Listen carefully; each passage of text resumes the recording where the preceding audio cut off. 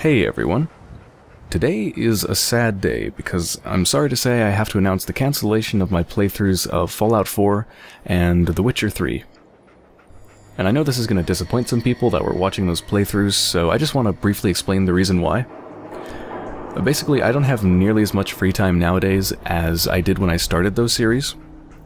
And Fallout 4 and The Witcher 3 are both just epic open-world RPGs. They just have so much in terms of size and in terms of playtime that they're just they're just too big, to be frank. They're just way, way too big. And I don't really have enough time to play them. It just it doesn't make any sense to play them.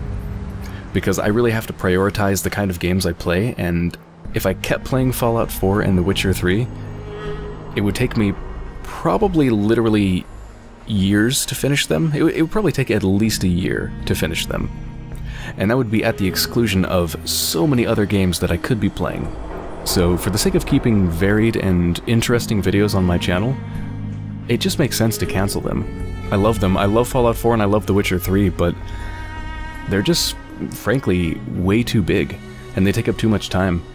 And I'm going to be much more careful with what kind of epic open world RPGs I decide to play in the future. So I'm sorry to say, we're going to have to say goodbye to our little squeaky toy friend here. Oh, Dogmeat, you're so cute. Okay, squeak for us one last time, Dogmeat. Let's go. Come on. I love you, Dogmeat. And I'm afraid we're going to have to say goodbye to the White Wolf as well. It was nice knowing you, Geralt. I enjoyed our time together. What was going to happen in this strange tower that I'm completely underleveled for? I don't know. But that's okay.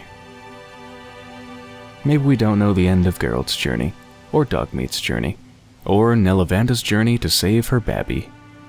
But no matter what happens in the future, we're gonna have fun with all sorts of new adventures.